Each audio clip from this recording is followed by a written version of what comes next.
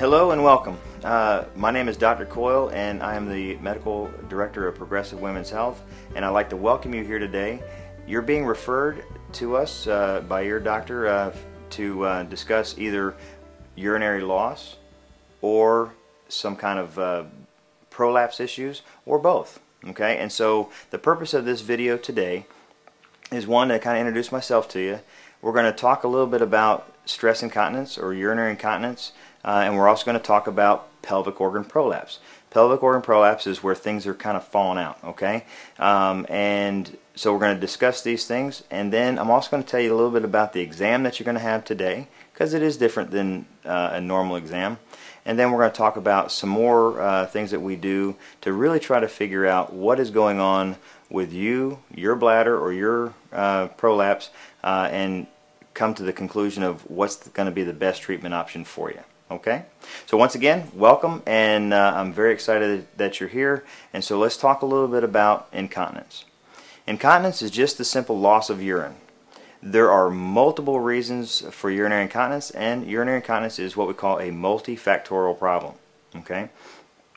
There are some main reasons for urine loss. One of the main ones, uh, or most common, is called stress incontinence. Stress incontinence is when you leak urine because of coughing, sneezing, laughing, or lifting something heavy, or jogging, or jumping on a trampoline. Okay? Um, let's look at this in, in kind of a, a, pictorial fashion. There's two main reasons why people leak urine because of stress incontinence. If this is your bladder and this is your urethra, one of the main reasons is the urethra moves too much. We call that urethral hypermobility. Okay. Um, the second is the door between the bladder and the urethra, called the sphincter. If it's not closing properly, you'll also leak urine with coughing, sneezing, and laughing. Okay, so stress incontinence for the most part is because the urethra is moving too much or the door that's holding water from the bladder to the urethra is not closing all the way. Another major type of urine loss is called urge incontinence. Urge incontinence is when you have that urge to go and you may not be able to get to the bathroom in time. You also can have urgency or frequency to where you just have a, an overactive bladder, to where your bladder fills up. You may not leak urine, but you're like, I need to go, I need to go right now and get to the bathroom. The normal female goes to the bathroom six to eight times a day. And so if you're going to the bathroom more than that, you may have an urgency frequency problem or have a very low bladder capacity. Okay? that then can also go into actually urge incontinence to where you have an urge to go to the bathroom and you leak before you get there. For example, if you're driving in your car, you pull up in your driveway and you have an urge to go to the bathroom, you leak before you actually get to the bathroom.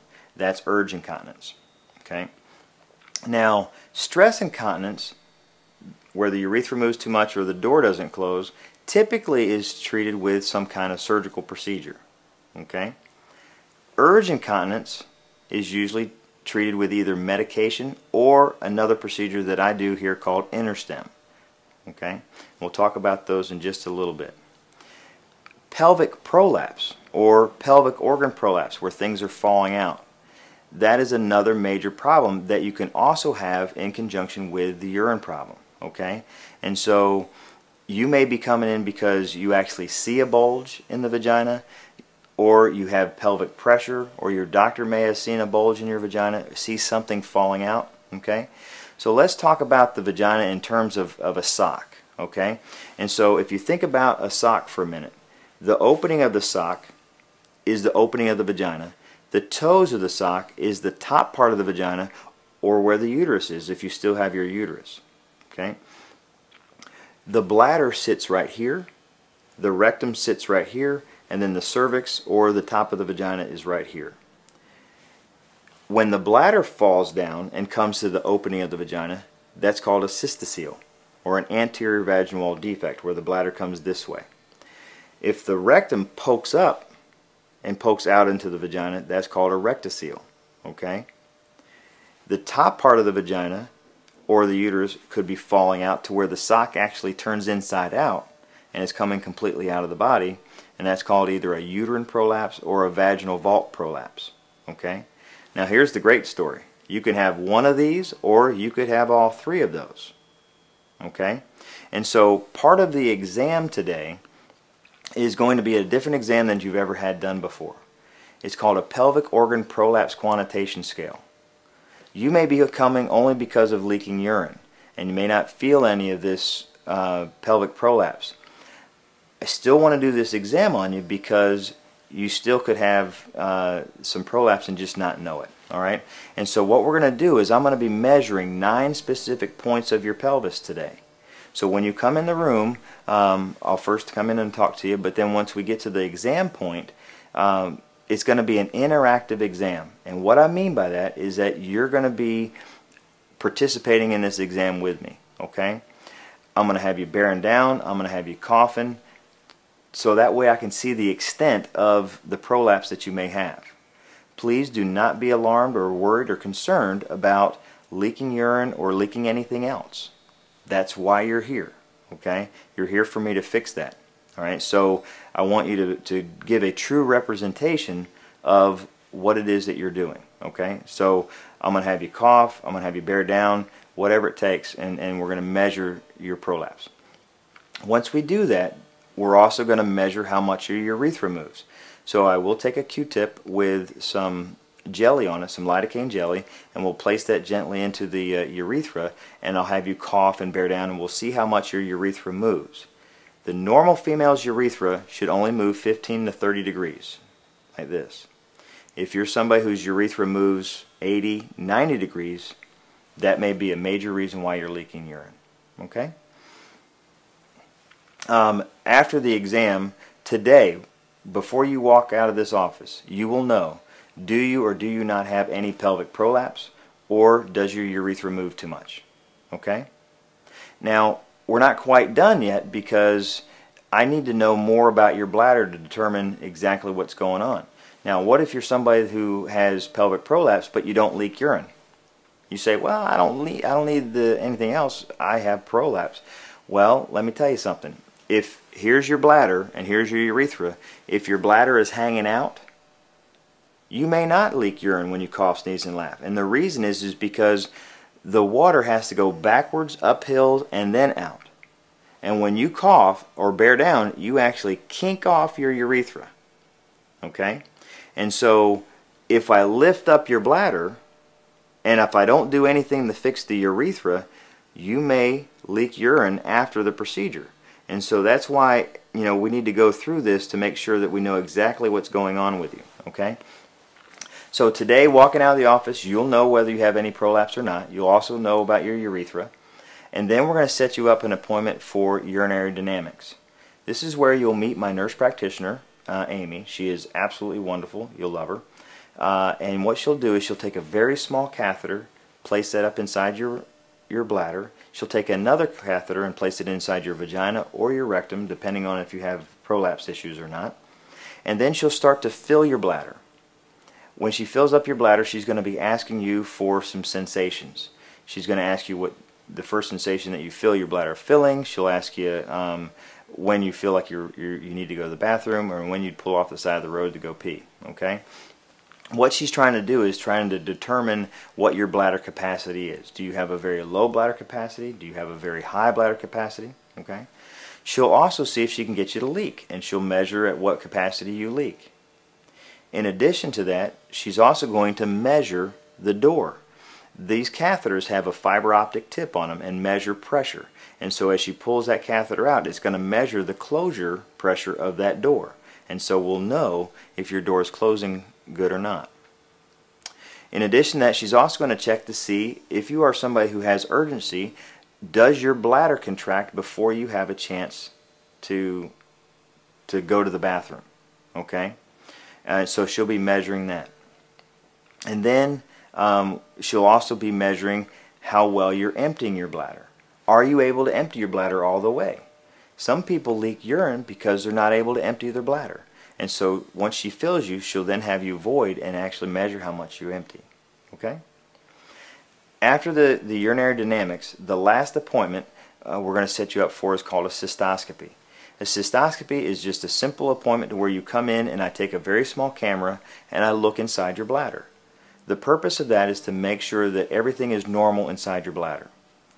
We don't want to go to the hospital and do, you know, all this major reconstructive vaginal surgery or even just a small little sling without knowing do you have anything abnormal inside the bladder.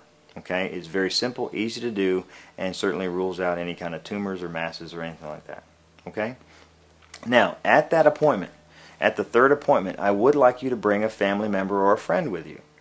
The reason is is because instead of making you come back for another appointment to discuss uh, any kind of options, I want to go ahead and deal with it at that point. At that point, we'll have all the information that we need. I will know exactly what's going on with you and your bladder and your vagina, and then we can say, all right, well, what do we need to do? Okay, so right after the cystoscopy, I'll let you get dressed, and then we'll bring your family member in or your friend in, and then we'll sit down and I'll say, this is exactly what's going on with you, and here are your options. It is better sometimes to have four ears instead of two because I know that sometimes you know I may say something and then when you walk out of here you go what did I say? or what did he say? And that's that's perfectly normal because I do go over a lot of information. And that's why it's really nice to have somebody else with you so that way you guys can talk about it on the way home. Okay you'll also be given um, a preoperative instruction sheet at that time as well that will have everything that we talked about on it okay now, just to kind of give you some quick ideas of some of the things that we have here. You're fixing your bladder if you leak urine with coughing, sneezing, and laughing, or, or whatever. We can be going from something very simple that we can do here in the office to something obviously more complex. Okay? There are things that we do here in the office, um, like a Renessa procedure we can talk to you about and we'll give you handouts on uh, for stress incontinence. Um, there's also a procedure that, that we do. We I mentioned a little bit about it. It's called the InterStim procedure, uh, which is a neuromodulator for the bladder. If you're somebody who uh, you have been on Detrol or Ditropan or Enablex or Vesicare and you still have the urgency and you still leak urine, or if you're somebody who has interstitial cystitis, um, you may be somebody who would be a candidate for the InterStim procedure uh, and we'll give you some handouts on that. That is very simple. We do uh, part of it here in the office to where we place these tiny little electrodes by the nerves that supply the bladder and modulate those nerves. Okay? Urgency can either be from an inherent bladder problem or a nerve problem, and we need to determine that. Okay? Um, as far as pelvic prolapse, um, where the things are falling out, uh, that can be done either vaginally or certainly uh, the gold standard that we do here, uh, the uh, sacrocolpopexy. That's where we take that top part. If the top part of the vagina is falling out, we take that and we attach that back, and we do use the uh, the very new and latest uh, technology for that. We use the Da Vinci robot um, and do a robotic sacrocolpopexy. And so it's it's absolutely amazing. It has taken a, a procedure that um, has big incision in the hospital three to four days, completely out of it, you know, to now we do this procedure, you go home the next day through a couple little bitty holes, and you're perfect. It, it really has revolutionized uh, what's going on. Okay? So that's basically the gist. I hope that you've uh, um, uh, learned a little bit, and uh, I'm very excited about meeting you. And so we'll be I'll be coming in to talk to you in just a few minutes to get a good history on you specifically, uh, and then um, we will uh, uh, get moving. Okay? So I'll see you in a minute.